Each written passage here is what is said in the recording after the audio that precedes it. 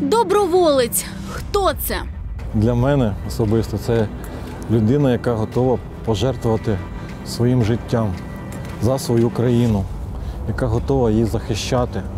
Познайомлю вас із такою людиною. Ігор Доброволець перше став на захист держави 10 років тому.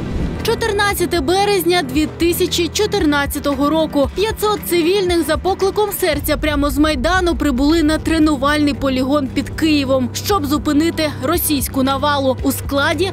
Першого батальйону такі почали формувати і по всій країні. Добровольцем напросився й Ігор. Ну, я з дружиною побалакав, вона не одобрила. Після розмови з комісаром він мені сказав, коли відправлення на слідуючий день. І скажімо так, я зібрався і втік.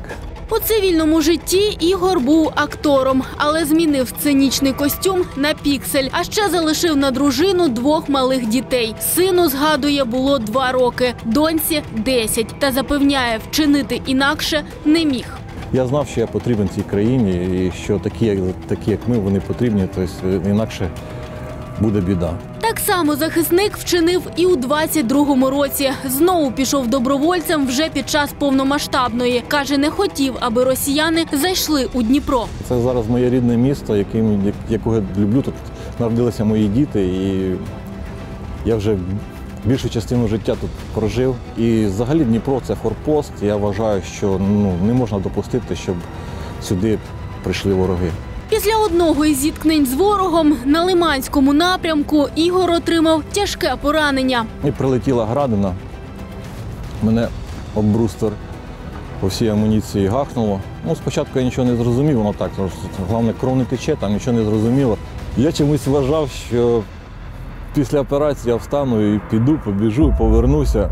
Але чомусь цього не сталося.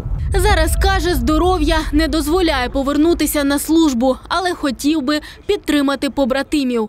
Їх потрібно замінити, щоб вони хоч, хоча б відпочили. Підтримував хлопців, розповідає, і коли був на фронті. Зі своїм відділенням намагаються їх навіть під час бою якось розсмішити. Але не жартами єдиними Ігор ще й писав тексти пісень, аби деякі були зрозумілі росіянам, вони їхньою мовою. Дядя Вова, здорово. Где ж ты, мразь, потерял офицерскую честь? Попереду вигоря ще безліч планів. каже, займатиметься театром, ставитиме спектаклі та й сам гратиме, щоб підтримувати країну й надалі, хоча б у такий спосіб на своєму арт-фронті. Айміна Арнаут, Юрій Смірнов, Open News, телеканал відкритий.